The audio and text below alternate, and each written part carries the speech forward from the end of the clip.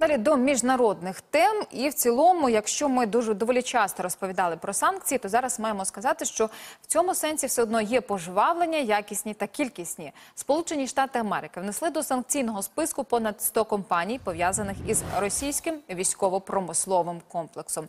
Про це йдеться у повідомленні Міністерства фінансів країни, зокрема про російських виробників військової техніки від безпілотників до кораблів та компонентів до неї, компонентів вибухівки, боєприпасів, електроніки, а також заводи із ремонту військової техніки. Окремо в указі згаданий також і банк «Точка», заснований для надання саме фінансових послуг суб'єкту, що забезпечує амуніцією російських солдатів, та російська компанія Екодор, яка перевозить російські військові вантажі.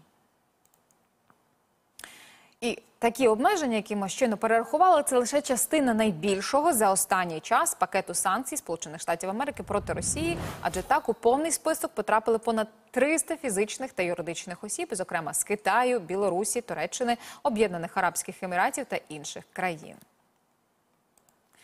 Проте, окрім компаній військово-промислового комплексу, до чорного списку Сполучених Штатів потрапили і енергетичні, військово-промислові та фінансові компанії і підприємства, які займаються відмиванням золота, також іноземні банки, які співпрацювали з Росією, китайські компанії, які постачали в Росію товари подвійного призначення, та власне самі росіяни, які відповідальні за примусову депортацію українських дітей. Окрім того, Сполучені Штати Америки запровадили заборону на деякі послуги, пов'язані із IT та хмарними сервісами.